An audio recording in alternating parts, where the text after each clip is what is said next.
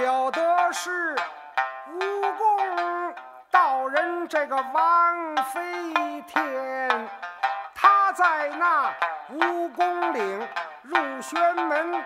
知佛藏身，隐恶扬善，欺压百姓，霸占良田，偏遇见打虎的英雄啊，他的命染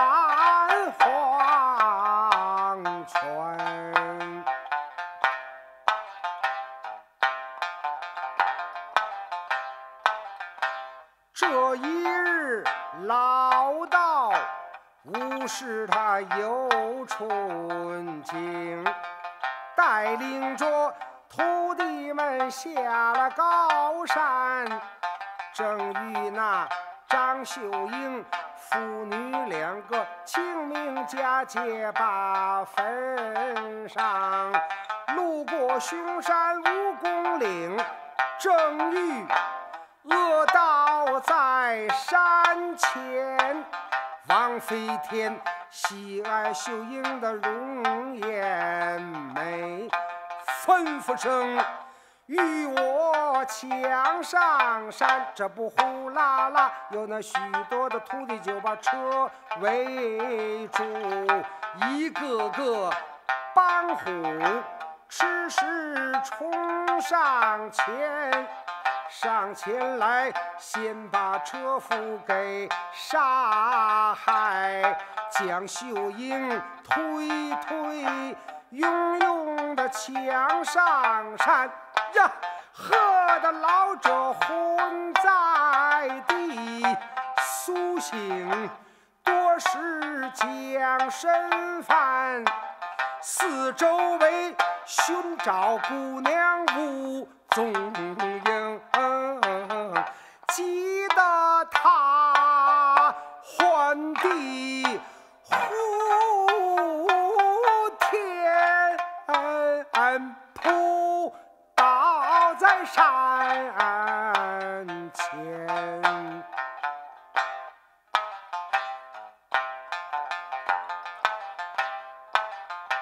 张老者哭罢多时将身战。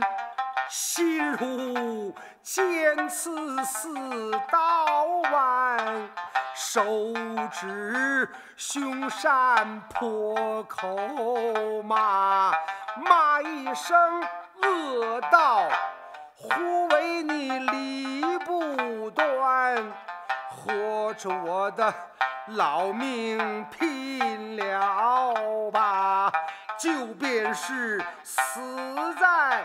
庙内也心甘，老者哭到了绝情处，忽见一人转过山环，老者定睛他留神看，见此人身躯高大有威严。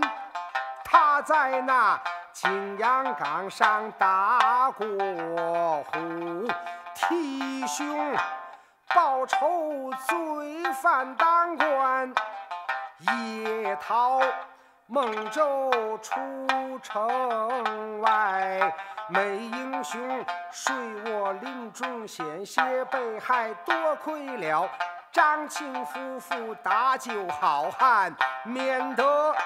一命染黄泉，因此上行装假扮脱头羊，连夜奔走二龙山，来至在蜈蚣岭前留神看，见一老者气喘吁吁，惊慌失色，哭哭。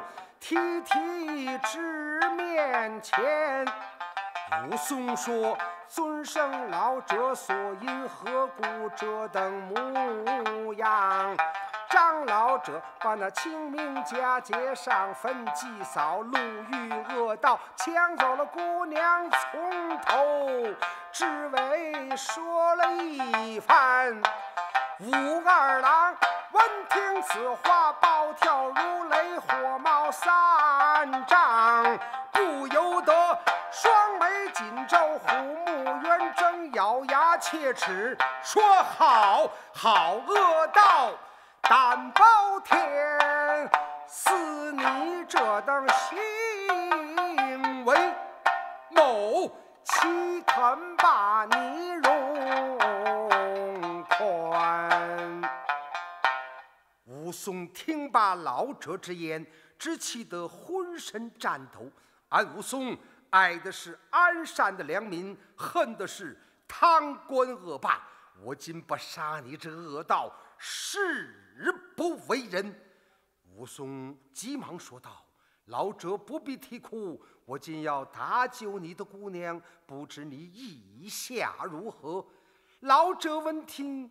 赶紧跪倒磕头，说：“师傅啊，你要搭救我的姑娘，满说是小老儿，就便是我的全家老小，也感恩不尽。”武松说：“我去之后，你看那山头之上火光一起，那便是我搭救了你的姑娘。”武松说罢，转身就走。张老者紧行几步，拉着武松：“师傅啊，那山头之上火光若是不不不不不不不不起呢？”武松说：“这个，那就是我敌他不过，你就逃命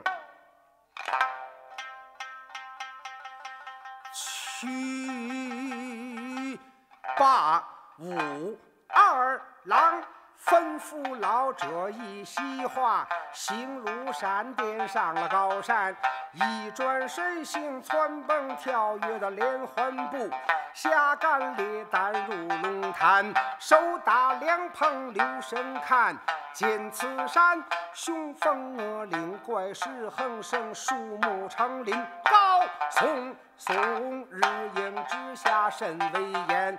见眼前渺渺茫茫、影影绰绰一座庙，武松纵身到了庙前，瞧了瞧四处无人，一片幽雅多清静。听了听，就在庙内花拳行令，推杯换盏，闹闹吵吵，乱乱哄哄，嘻嘻哈哈，你言我语的把话谈。武二郎气满了胸膛，迈开虎步把台阶上，单膀使力照定山门，啪啪啪啪不住的响连天。